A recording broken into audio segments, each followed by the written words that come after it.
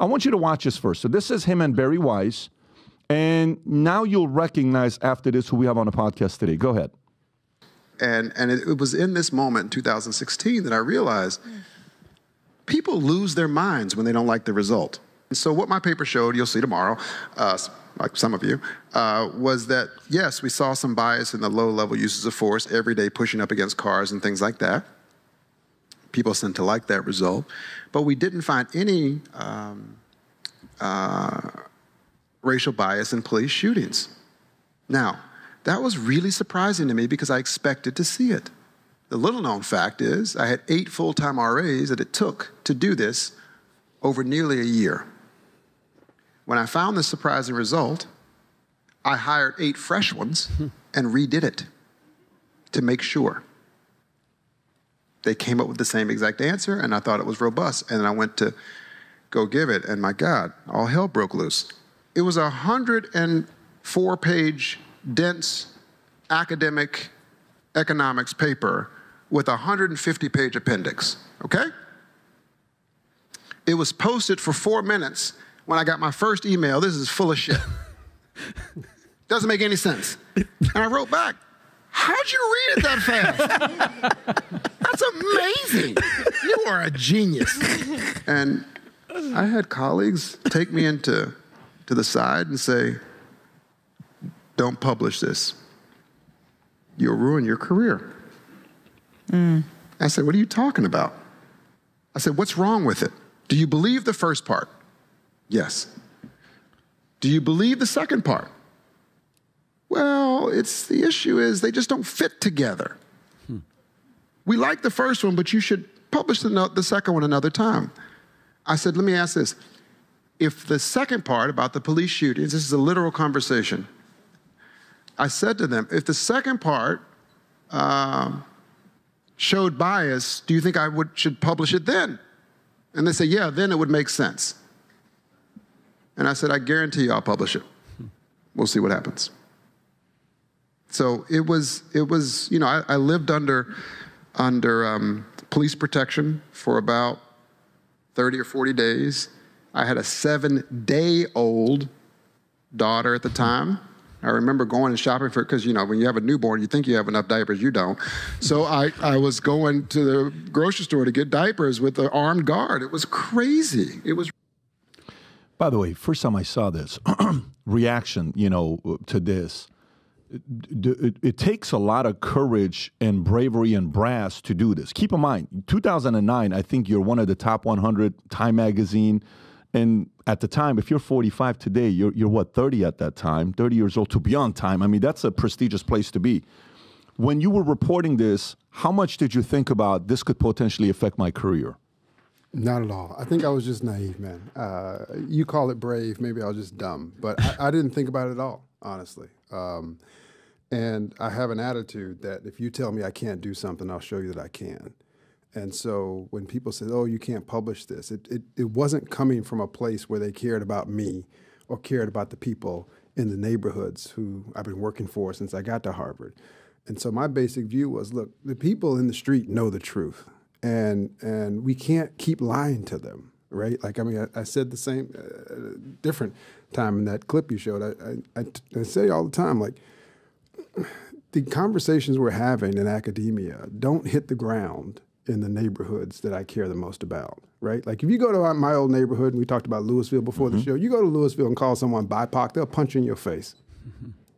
right? Like that's not they don't they don't care about those kinds of things, and so I've always had the view that if this was your family, you'd tell them the truth, even if it was a hard thing to say, and you'd find a way to say it with empathy and with love but you wouldn't lie to them. And so the idea that you would hide results because you are afraid of what people would say or how they would feel or how it would affect your career, it's just never been about me. It's about the folks in the neighborhoods we're trying to help. What What are you seeking? Because you know sometimes. Um, everybody's seeking something else. Like for me, you know, I have a certain life that I've lived, and I'm trying to get to the bottom of a certain truth for myself that to to maybe tie a certain uh, uh, issue in the past, conflicts that I was trying to overcome. What what answer are you trying to get to the bottom of for yourself?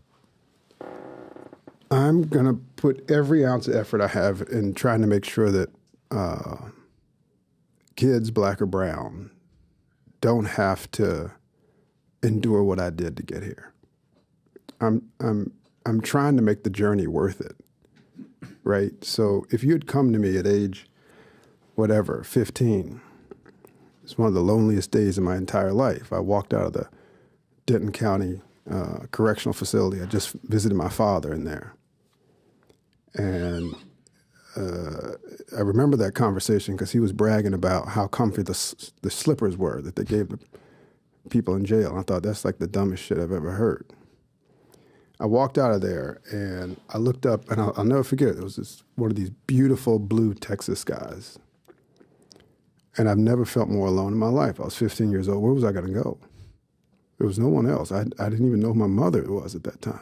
My grandmother was here in Florida. And if you'd come to me at that time and you'd said, look, I know uh, things seem pretty impossible now, but these experiences are going to make you uh, impervious to the BS uh, when it comes to race in America, and and you are going to be able to analyze data and maybe make some progress for for uh, the next generation of kids. I'd like to think that I would have taken on that challenge. But if you'd come to me during that day and said, if you can get through this, we can have Chardonnay at 10:30 at Harvard University and hang out. We can talk about Plato. I would have said, no, thanks, man. Could you just get my dad out of jail? Hmm. And so for me, it's it's you're right. I mean, uh, when I first got to Harvard, I, I felt guilty. I had to figure out I, I got to do something right? And I, and I feel like the time, I feel like the clock is running out. Uh, so I'm in a big hurry to make a big difference. Were you uh, in Armenian? There's a phrase that I couldn't stand. They would say to us, you know, because of where we were at, "Mechka, Mechka, Mechka." Like, oh, poor, poor, poor Patrick, poor Bet Davids, and I couldn't stand that phrase. When you went to Harvard, did you? Did they treat you like, you know, hey, you know, you came from here and poor you, let us treat you this, or were you treated like anybody else and, you know, the standards and expectation per, to perform? And if yes or no, did it do anything to you? It's interesting. Um, I don't know if anyone said poor me, um, but I do believe they looked at me different. Um, I felt like they looked at me like I was um, an exception. Um, someone had beat the odds um, someone was curious. The New York Times did a profile of my life in 2006 or so. And I remember, you know, colleagues coming up to me and go, "Man, you sure you want all that in the newspaper?" Because they talked about my family, you know, dealing drugs and blah blah blah. That that you know, I wasn't trying to hide anything mm-hmm. at that point. Um, and but the the idea that I was an exception used to really piss me off. Yeah, because this is not about helping a few of us beat the odds, right? That's insulting. This is about unfettered competition so we can change the odds. Right? This is about figuring out how we give people real opportunities so that they can do for themselves. Right? I don't need you to pluck a few of us and pat us on the back. What we need to do is figure out how do we find hidden talent wherever it lies in, uh, across the globe. It's interesting. So let's let's go back to the study, and you know you've shared a little bit about your background for you know some folks who don't know. Um, the study that you did, this specific study in 2016 that you know we sh- we played a clip for earlier. When you're going through this process of with this study, were you yourself expecting those numbers, or were you yourself like surprised as hell when you saw it? And then how did that change your perception and opinion of things? No one was more surprised than me, right? Like I'm not proud of it, but I don't really like the police that much, right? Like if I I'm going to the airport after this, if they pull me over, I'm gonna be nervous, man. like I don't. It's not. I think a lot of yeah. us would be. Um, so I figured this was going to be the easiest thing in the world, right? People were out protesting and stuff like that after Michael Brown, but you know, flying to St. Louis and and locking arms uh, was just not my thing. I'm not saying it shouldn't be done. It's just not my thing. So I thought, here's what I'll do uh, to help. I'll, I will figure out empirically what's really going on because we'd only seen a few videos at that point. And uh, I remember going to a colleague of mine and saying, "Here, let's. Uh, I'm going to study the police, and here's an idea." And what he quickly told me was, "You don't understand anything about the police. So how are you going to be going to figure out what's going on with race and policing in America?" Um, so I embedded myself in police departments, and we can talk about that if you want at some point. But uh, I was extremely surprised. I was sure that there was going to be bias in police shootings. Uh, as the clip said, when I got the results back, I hired new uh, research assistants to do it over again, um, just to make sure. But once you have the results, once you have what you think is the truth, given your data, there's no other choice but to go out with it and and and try to educate people on what the data actually says. And what is the data? If you can just actually give us the data, what was in the data? What we found was that on lower level uses of force, so when it comes to pushing up, pushing someone up against a car, pulling a gun, putting handcuffs on them but not arresting them, things like that, there were large racial differences in um, police use of force. So, black uh, uh, civilians are 50% more likely to have force used on them in any given interaction. Even when the police say they're perfectly compliant and they're not arrested and there's no contraband, et cetera, they're still more than 20%, uh, 20% more likely than white civilians to have force used on them. But when it came to lethal use of force, um, shootings, we found absolutely no racial bias in that in any way, shape, or form. And our data, I believe, is a lot better than what has been um, uh, discussed in the popular press because they're looking at kind of s- statistical snapshots. They're saying, well, the fraction of black people who are shot by the police is 50%, and they're only 13% of the population, ergo, it must be discrimination. Sorry, I don't know if they forgot Statistics 101. That's not how it works right? What we did was say, look, here is um, a, two people um, are in a situation with police. Their behavior is the same. The other conditions on the ground are the same. Uh, the police decides to shoot one and not the other. Is race a factor? In other words, accounting for everything else about that situation, does race predict whether or not a police officer will pull the trigger? And the answer emphatically is no. And that is the result that uh, caused uh, panic in a lot of people. Most people like the first result. What did it do to you? What did it do to you? I mean, because there's there's there's certain. Uh, you're seeking the truth because that's what you keep saying with Bari Weiss, right? I'm trying to get to truth, and I love what you said, and you said it again earlier today. You said uh, uh, in one of the documentaries I watched, I think it was like 26, 27 minutes, where it says, I'm not trying to beat the odds. Because one guy, what does it feel like, Roland, that you beat the odds? You're like, I'm not trying to beat the odds. I'm trying to change the odds, right?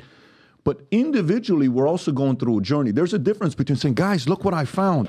You will not believe this report. Look at what I found. But what am I going through? Yeah. What are you going through with the life that you live? Uh, at that time, I um, I was not aware of what was going to come. So uh, when we had the results, um, we uh, pursued two tracks. One, you obviously publish it, and we published it on a top economics journal. Great, seven people read it, uh, maybe six. Uh, the second path is we wanted a more popular version of, of, the article, so the New York Times wrote about it, and uh, for me personally, uh, when people respond, you know, people send me an email and say, hey, your paper's crap, or hey, your paper's great. I do all I can to return every single one of those. And so for me, I sat for days and uh, returned thousands and thousands of emails from regular old Americans in Kansas and in Idaho and in Chicago who said, I don't know if I believe this or not, but thank goodness there's actually data and we can actually have a debate about it. And we went back and forth. And that that's kind of what I do for a living, right? I'm a, I'm a professor. I, I'm supposed to be teaching, not just in the classroom. But if you release a paper like this, this is what you do. So what happened to me? I got a chance to teach. Um, and if you, if you uh, remember that time, I didn't do any other press. This wasn't about me out there thumping my chest trying to be on whatever news channel saying, hey, look what I found. We put it out there, and then I, over email and other means, tried to communicate directly with people about what the results were about. But what I'm what I'm trying what I'm asking is, what did it do to you? So so because uh, uh, life, okay. I grew I grew up in Iran, and I see ten thousand men marching, flagellating their backs, screaming "Mad Bad Omri" called "Death upon America." America must be an evil empire. Then I watch Rocky Four, and you know Rocky and Drago are fighting. Drago, Drago, Drago, and then Rocky, Rocky. And if you can change, he can change. Anybody can change. I'm like, man, maybe we can bring Soviet Union and us and unify and realize we have a lot in common, right? And I'm like, wait a minute. But that's a movie. That's fake. This is real. America must be evil. Then you go to Germany, live at, at a refugee camp. Parents get a divorce. Mom says, because that entire family were communists, their, their Bible was Karl Marx Communist Manifesto. Rich people are greedy. Dad, on the other side, is an imperialist. They believe poor people are lazy. And then I get into the military, I get out, I get into sales. And then I see the person that bitches the most, work the least, the guy. I'm like, wait a minute, what's going on? And it changed my opinion about economy, about work, about politics, about capitalism, about who to vote for, about who not to vote for, about who's manipulating, about who wanted to use me, about who wanted to keep me poor, hmm. about who wanted to kind of make sure I didn't figure out the hmm. secrets to life, that I can go out there and figure myself out about how they use fear to control, to keep your mouth shut. All of these things that I'm going through as a kid, right? And I'm like my 20s, and I'm like, oh, wait a minute, this doesn't make any sense. What did you go through one on one, not anybody else? Did it change anything away from what you witnessed in your life to go back and say, man, I remember Bobby back in high school. Unfortunately, they sold him. He bought it. He's dead now. He was smarter than me in math. If he knew what I knew, he could have been. That sucks. So it was really the social, economic. It wasn't a skin color, but he was convinced it was a skin color. Why do we buy? Did you go through that evolution yourself? Of. Yeah, of course, of course. Uh, on a couple dimensions. One, uh, I was disappointed in social scientists. Um, I didn't realize there was so much politics in academia until that point. I really thought that we were out there, all of us, searching for the truth. I mean, we sit in these seminars and we beat the crap out of each other's ideas and papers, and it's all about trying to get to a place of what's correct and what's not. And to see uh, people who uh, I respected for years lose their way because there was there was a result they didn't like. It was very shocking to me. Can I, can I ask you a question, Roland? Yeah. So, so you do this research, you have a fact check, double check, and the truth is there. Why do you think that truth is such a threat to your colleagues, to the powers that be, going up the ladder to Harvard, to, to just the powers that be? It's such a threat. Why, why do you think that is? Yeah, it's a good question. I don't think the results themselves were a threat to them.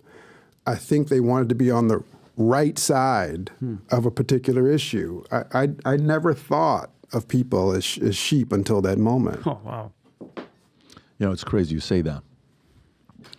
Uh, my entire life, growing up, I don't have a four year, I don't have a two year, I don't even have an associate's. I had a 1.8 GPA in high school. I was a math guy. I love calculus, love math analysis. I can do math all day long. Had no interest for anything else. Troubled teenage, you know, kids got divorced, all this stuff. So, so my route was I'm going to go to the army. He went to the Air Force. He was the airman of the year in the Air Force. So we're military. Tom's dad was a rocket scientist, literally was a rocket scientist. I'm not saying this as a. So Tom went, he became a professor, adjunct professor at Pepperdine, at Biola. He's probably had $2 billion of exits and raising money. So he goes to Silicon Valley. So when Steve Jobs and Bill Gates do that interview that 300 people worldwide are invited to be there, he's one of them. That's Tom. Tom's background is that. So Tom is academia, more coming from more coming from this side. But a, but a part of it, I remember when I went to Harvard and for their OPM program, Owner President Management Program, you have to do $10 million a year to be able to go there. And I qualified. So I'm like, Tom, Tom's like, Pat, just go. I'm like, Tom, I, we're running a company. He's like, Pat, I'm telling you, go. We got the company. We're good. Tom, I hired Tom to be the president of our, our company at the time. So I go for three weeks. Now, let me tell you what time it is when I go there. I go during the debate between Hillary Clinton and Trump, Oh wow. and I go to this to this uh, uh, uh, chow hall. I thought chow hall like you know military, Military, I'm yeah, going to chow, eat. but this is a different chow hall. It's C H A O. It's a, it's an Asian man that gave hundred million dollars to Harvard. Chow It's called- It's named after him, oh, Mr. Chow. okay, Chow Hall. Yeah. So I go to Chow Hall. There's 300 people from Harvard watching this debate. And I'm thinking, Jelly would, Vinny, Okay, my bad, smile. my seriously, do it My fast. my. You're doing it slow so uh, we can hear it. So I'm, I'm at this Chow Hall place, and I'm hearing these guys. And I sit in the sideline, say nothing. and it's the line, because you'd be in jail, right? Oh, man. Aren't we glad that a man like this isn't in the White House making the decisions and having control of whatever she says, because you'd be in jail, right? And boo! I'm like, it has to be 50 50. Now, I'm like, I want to see 300 people in a room. It's got to be 60 40. I'm like, Trump just said something. The Trump people should root for him. Nothing. So this kept going for the two hour debate. Not one, 300 people are in Chow Not one person got up. The OPM program is a three year program. I'm supposed to go every year for three weeks. I go to my main person. I said, Are you guys 100? Do you believe in debate? Of course we do. is this a place where you guys entertain opposing ideas? Of course we do. Can I ask why 100%? So, what do you think about Trump? He says, "Oh, he's a he's a you know he's a he's a he would be a terrible president." I said, "Why is it 100% of you all agree that Trump's a bad person? Why is that? I thought you guys were about debate." I said, "I can't come back to the school." Never went back. Hmm. I couldn't go back. Hmm. The reason wasn't be, I enjoy debate. I want to sit down at with Stephen A. Smith and I were talking two days ago. Let's sit down and have a great conversation together. I love it. Hmm.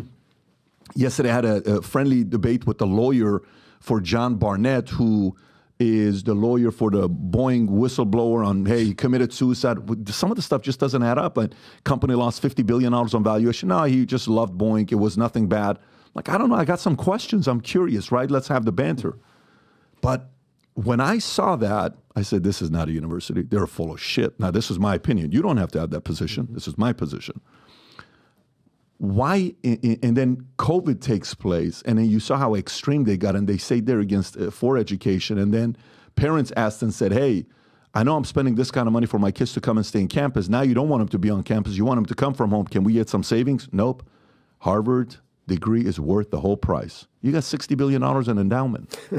So all of these things made me go from you're from harvard? Oh my god.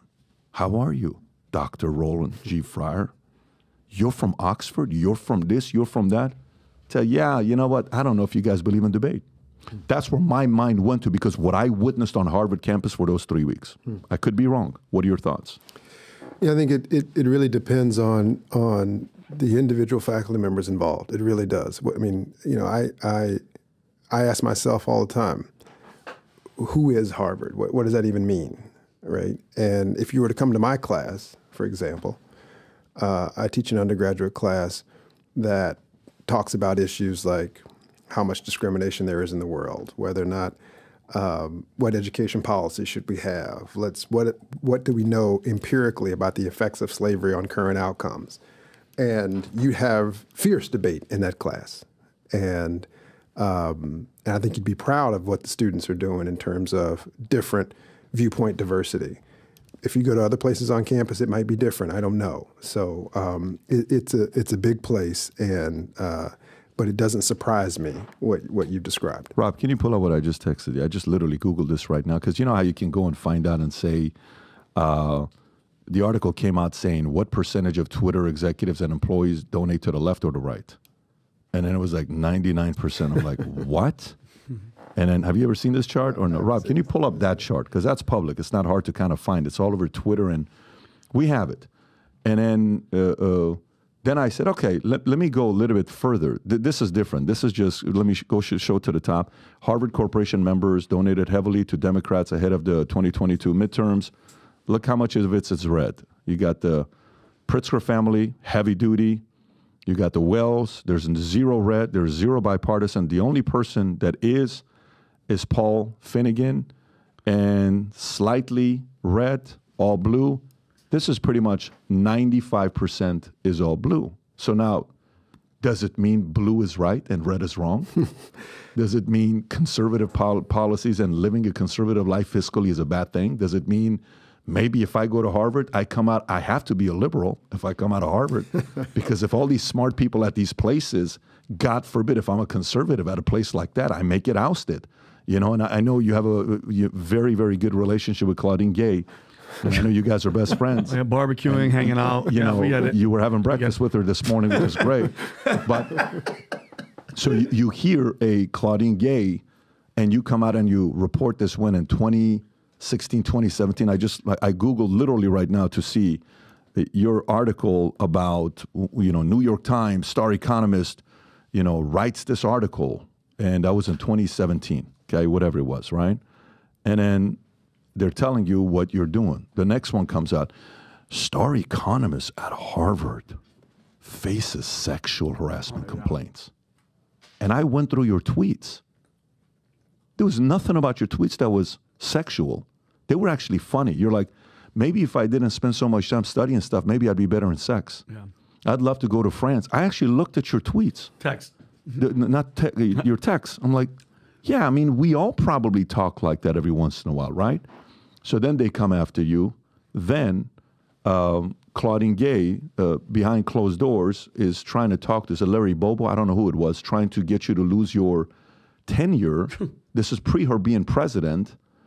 And do you kind of sit there and say, dude, am I, are we not protected? I mean, am I not, are you guys not trying to target me? Did that thought at all cross your mind that this school doesn't like some of the position? And Claudine Gay, maybe the average person on the left would say Claudine Gay should probably defend you, right? If you're really about, he should be on my side, right? when you were going through that, and obviously I'm not telling the whole story, Yeah. but when you were going through that, how are you processing all that It was hard. experience? It, it was hard to process it, and and what I focused on was um, what I could do better. Really, right? Like I don't. When anything happens in life, you have a choice. You can either look in the mirror, or you can look out the window. And the first thing I do is look in the mirror. And um, you're right. The the you know there's it's debatable whether or not. Uh, uh, telling jokes is worth uh, that kind of penalty. But uh, maybe I shouldn't have told him, right? And so Do you first really believe that, though? Do you really believe that? Yeah, the first thing I did was I went to executive coaching because I didn't understand, right? Like the, I know it's maybe hard for some people to think, well, you're a Harvard professor, you must know better. We talked about how I got to be a Harvard professor, and nowhere in that journey was management training. um, nowhere in that journey was, hey, you know, you, I, I am very, very casual, right? So when I think we're friends, we're friends, and so I feel like we can talk about anything. If you have Thanksgiving at my house, then I feel like we can banter in any way we want. It's just the way I roll. And so it never dawned on me that, you know, for, for years I had lots and lots of students in my house for Thanksgiving. And so those students I had a different type of bantering with than, than ones that didn't. And so I treated my, uh, you know, workplace for people who, you know, I knew well, like my living room, and I shouldn't have done that. Um, and I don't know if it uh, truly hurt someone. They said it, you know, a few years later. They said it did, and if it did, my God, I'm sorry because that's not, you know, that's not what I had intended. So it's really not about what I believe. It's about um, uh, what could be and whether or not I can actually change my behavior. So that I've done. Now, um, what was I thinking during that whole process? It was it was very very confusing, and I had to figure out if I could actually do the work I wanted to do at a university. Um, and more importantly, I had to figure out because the, the the world was treating me very differently from Monday to Tuesday during that time in my life, how I could still be on this mission to make to have impact. Um, how was I going to get the work done that I needed to get done uh, if I couldn't publish here or talk about academic papers there or have research assistants or what have you? How was I still going to make a difference? And um, that's what I was re- truly focused on. Yeah, I mean, y- you sound very nice. It's not about nice, man. I want to be effective. Yeah. No, I get that. But to me, also from the outside, do you think the approach they took to get it public and the way it was was a form of trying to embarrass you a little bit? Was it a form of making an example? Because that could have been handled privately, you know? Yeah, it felt personal. Okay. It felt personal. But again, what if- I maybe I'm being uh, you call it nice, uh, but what you gonna do about that, right?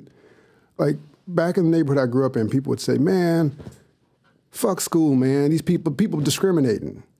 What the hell are you gonna do about that? You got a choice." You can either get up and work your butt off and see what comes of it, or you can sit here and talk about what you can't do. And so during that time, yes, I could have sat around. I'm not sure anybody would have listened during that time, but I could have sat around and said, Woe is me. It's not my style. I've never done that. Never. And I wasn't going to start then. What I had to figure out is I got two kids in private schools. How we gonna how we going to make that work Basic, out? yeah. Right? I got kids. My kids, you know, I, I grew up hating rich kids, and now I got two of them. They, they like brie, brie and shit. How am I going to afford brie? right? Like, my, like, I got those are the problems I got. right? Like, like I can no longer remain in today's Democratic Party. Tulsi Gabbard says she is no longer a Democrat. a potential Tulsi Gabbard VP. And where we are being told that we just have to comply and go along with whatever they say. American people uh, are smarter than this. However, we must remain vigilant to recognize their propaganda for what it is pure lie. Unfortunately, we live in a time where free speech is under attack. Whatever they say goes, and we, we have to just follow. And the people who suffered under your reign as prosecutor, you owe them an apology. On a debate stage before, I would look forward to doing that again. So if you like this clip and you want to watch another one, click right here. And if you want to watch the entire podcast, click right here.